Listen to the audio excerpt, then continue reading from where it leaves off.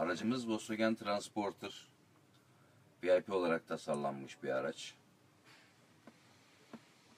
Gayet de başarılı bir araç. Biz bu araca Apple TV uygulaması yaptık. Özellikle yüksek çözünürlüğü sayesinde kalitesiyle buluşmamızı sağlayan bir malzeme Apple TV. TV gereği olmadığını düşünüyorum. Çünkü kullanıcıların birçoğu iPhone yüzünden Apple TV'yi zaten yakından tanıyorlar. Sanlı abinin arabası. Hangi Sanlı abi o?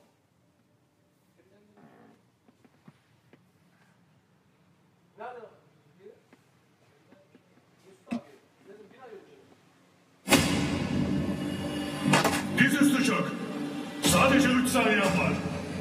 1 2 Üç. Bana dönmeni istiyorum demen yeterdi. Dünyadaki bütün askeri uyduları kontrol eden cihaz çok tehlikeli dört kötü adamın eline geçti. Onlar gibi kıvrak ve dövüşebilen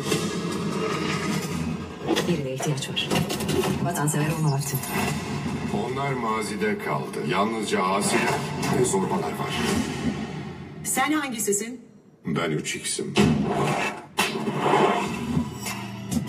Destek kuvvetinle tanıştırayım. Red Bull poster güzeli geldi.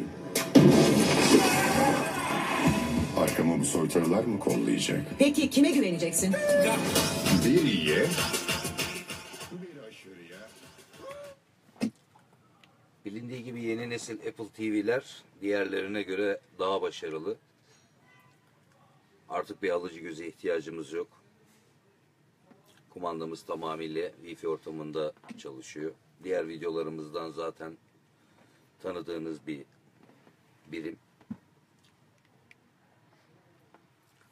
Kullanımı oldukça kolay. Kumandanın üzerindeki trackpad sayesinde küçük bir bilgisayar kontrol ediyormuş hissi uyandırıyor.